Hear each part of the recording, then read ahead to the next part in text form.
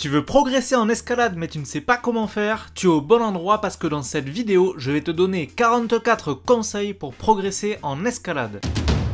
Prends des cours d'escalade. Si tu es bloqué dans un niveau ou que tu veux être sûr d'avoir des bases solides en escalade, n'hésite pas à te faire coacher par un professionnel de la grimpe.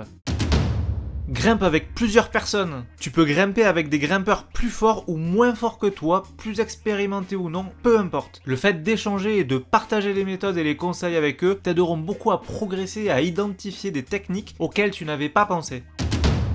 Échauffe-toi bien avant chaque séance pour éviter de te blesser. Beaucoup de grimpeurs sont trop pressés de grimper et se blessent bêtement à cause de petites chutes ou de petits bobos ridicules.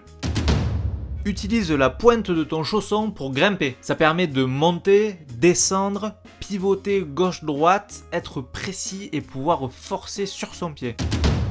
Travaille ta technique de base, l'équilibre, les placements de pieds, ne pas les poser trop vite, être précis, la coordination, etc. Une bonne technique te permet de compenser des problèmes de force. Lis la voie ou le bloc que tu veux faire avant de grimper pour optimiser au mieux tes mouvements, tes placements, la vitesse à laquelle tu vas grimper et les endroits où tu pourras te reposer. Entre deux essais sur ce bloc, réfléchis à ce qui a marché, ce qui n'a pas marché dans ton essai précédent et essaye de corriger tes erreurs. Parfois, de tout petits détails font de très grandes différences. Travaille ton endurance. Repose-toi moins longtemps entre deux blocs ou entre deux voies tu peux grimper plusieurs fois d'affilée le même bloc ou enchaîner des blocs sans repos. En voie, repose-toi moins entre deux voies. Fais cet exercice sur des voies de niveau de difficulté facile pour toi. Travaille ta polyvalence. Grimpe en intérieur, en extérieur si tu en as l'occasion, fais de la voie et du bloc. Toutes ces disciplines sont très complémentaires pour que tu puisses progresser en escalade. Travaille ton mental, grimpe petit à petit en dehors de ta zone de confort et fixe-toi des objectifs personnels en termes de nombre d'essais, de mouvements que tu veux réussir à faire, etc. Repose-toi entre deux séances pour permettre à ton corps de récupérer et à tes muscles de se reconstruire. Perso, je prends toujours au moins un jour de repos entre deux séances. Si je grimpe deux jours d'affilée, je vais raccourcir et diminuer l'intensité de ma deuxième séance pour éviter de me blesser. Achète du matériel d'escalade qui te correspond. Commence principalement par des chaussons d'escalade adaptés à toi et à ton pied. Tu peux par exemple regarder cette vidéo pour t'aider à ce sujet. Regarde des vidéos d'escalade pour observer les techniques utilisées et t'en inspirer. Ça va te permettre de visualiser des mouvements, des erreurs et ça va te permettre de progresser en escalade. D'ailleurs à ce sujet, abonne-toi à ma chaîne YouTube pour avoir plein de vidéos de grimpe et pouvoir progresser en escalade. Sois patient je vois trop souvent des jeunes grimpeurs qui veulent brûler les étapes et progresser trop vite. Vois plutôt l'escalade comme un marathon, pas un sprint. Vas-y progressivement pour éviter de te blesser et garder la motivation. Faire un bloc ou une voie difficile ne signifie pas que tu maîtrises ce niveau si tu le grimpes n'importe comment et que tu es dans le rouge à chaque mouvement. Donc grimpe proprement et sois patient.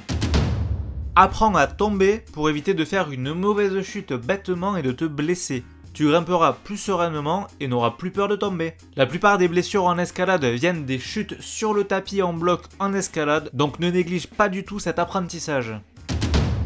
Améliore ta gestuelle, grimpe en faisant des traversées et déplace ton corps dans l'espace, pas uniquement de haut en bas. Essaye toutes les formes de prise pour découvrir leur préhension et savoir comment les tenir. Il y en a dans tous les sens. Des bacs, des arquets, des bidois. Toutes ces prises sont différentes et plus tu sauras en tenir, plus tu seras fort en escalade. Fais du renforcement spécifique en escalade, avec par exemple des poutres d'entraînement ou du guliche. A titre personnel, ça m'a beaucoup aidé pour progresser, mais attention à ne pas faire si tu grimpes depuis peu de temps et si tu n'es pas un grimpeur régulier. C'est vraiment un outil de progression pour les personnes qui ont un niveau avancé ou qui grimpent depuis au moins un an ou deux quoi. Fais des exercices de précision, comme par exemple viser des prises en les touchant, aller chercher une prise avec la main, la toucher et revenir. Tu peux aussi faire ça avec un pied, aller viser une prise, la toucher et revenir. Grimpe régulièrement. Tu peux grimper une, deux, trois fois par semaine en fonction de tes possibilités. C'est déjà super bien pour avoir un bon niveau en escalade. Si tu fais des pauses de plusieurs semaines et que tu penses reprendre avec le même niveau qu'avant, tu te trompes parce que ton corps s'est certes reposé, mais vas-y tranquillement au risque de te blesser. En voix, n'hésite pas à faire des pauses dans ton baudrier et essayer plusieurs fois les mouvements qui te posent problème. On appelle ça travailler une voix. En bloc, n'hésite pas à utiliser d'autres prises pour te placer et essayer des mouvements qui te posent problème et toucher les prises que tu n'arrives pas à tenir et essayer de faire les fins de bloc que tu ne peux pas faire si tu bloques avant. Apprends à faire des mouvements comme les talons ou les contrepointes, ce sont des techniques très utiles et qu'on retrouve très très très souvent en escalade. Respire. De nombreuses personnes grimpent en apnée lors d'un effort intense, sauf que le problème, c'est que tes muscles ils ont besoin d'oxygène pour fonctionner. Donc s'ils n'en ont pas, tu risques pas d'aller très loin. Filme-toi pour analyser la façon dont tu as grimpé et identifier ce que tu as fait de bien et tes erreurs. Souvent quand on grimpe, on a le nez dans le guidon, on sait même plus comment on a fait, du coup c'est un super moyen de savoir ce que tu as fait pour identifier toutes les petites erreurs et les corriger.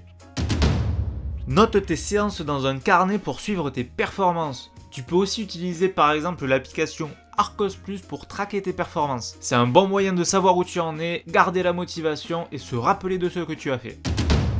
Étire-toi régulièrement pour gagner en souplesse et limiter des risques de blessures. Souvent négligés par les grimpeurs, pourtant très très important pour progresser et pour se protéger pour ne pas se blesser. Travaille ton équilibre et agilité avec des exercices complémentaires comme par exemple la slackline. Bon j'avoue mon niveau est pas très très ouf. Hein. Travaille ton cardio en faisant des exos complémentaires à la maison ou en extérieur. Le cardio c'est vraiment la partie qu'on travaille le moins en escalade, surtout en bloc. On l'a un petit peu en diff mais ne le néglige pas parce que ça te permettra de progresser. Mange équilibré. Ton corps a besoin de plein de nutriments pour fonctionner et récupérer, alors prends-en soin. Tu peux aussi boire et t'hydrater pendant que tu grimpes. Hydratasao, c'est très important. Le maître mot de cette vidéo, fais-toi plaisir. Ne sois pas trop dans la performance et ne sois pas trop dur avec toi au risque de perdre ta motivation et ton plaisir de grimper. Si tes attentes sont trop hautes, ça va te dégoûter de l'escalade et c'est pas du tout le but. Fais des tractions pour développer ta force. Adapte cet exercice en fonction de ton niveau. Tu peux faire par exemple des tractions avec un élastique si tu débutes.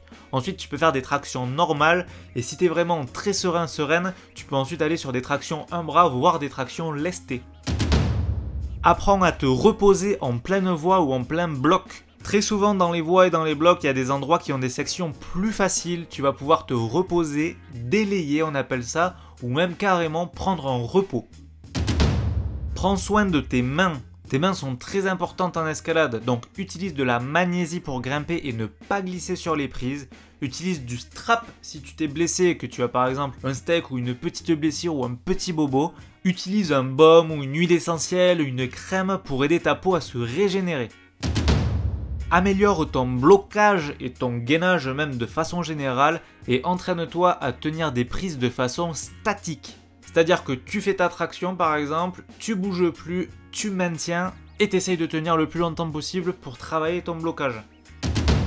Grimpe sur différents profils de mur pour être le plus polyvalent possible. En dévers lorsque le mur est incliné, en dièdre quand tu es dans un angle, en dalle lorsque le mur est vertical ou incliné positivement, tous ces profils de murs sont très complémentaires et t'aideront à progresser en escalade.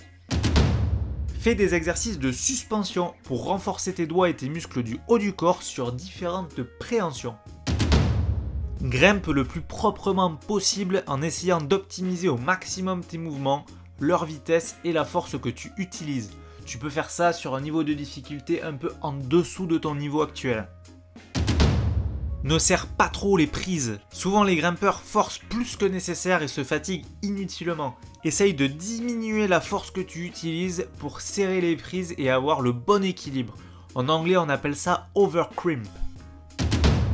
Petit exercice sympa, essaye de grimper sans regarder tes pieds pour travailler ta mémoire de lecture et tes sensations lorsque tu cherches des prises avec les pieds. Parfois, certaines prises sont cachées, certains mouvements sont en coordination. C'est un bon moyen de travailler ta proprioception et essayer de te rappeler où sont les prises pour pouvoir grimper efficacement. Alors avoir cette visualisation du bloc avant que tu le fasses est très important. Grimpe lesté pour travailler ta force et augmenter la difficulté des blocs et des voies que tu fais. Alors attention, ne fais pas ça quand tu débutes, fais-le plutôt quand tu as un niveau avancé et que tes doigts et tes tendons sont déjà prêts à recevoir ce genre d'exercice. Des escalades Ça permet d'éviter de se blesser en faisant une mauvaise réception et ça permet aussi de travailler ses muscles différemment sur un mouvement inverse de la traction de base quand tu grimpes. Abonne-toi à mon compte Instagram pour avoir plein de conseils en escalade et surtout, regarde une autre vidéo juste ici sur ma chaîne YouTube pour avoir plein d'autres conseils pour t'aider à progresser en escalade.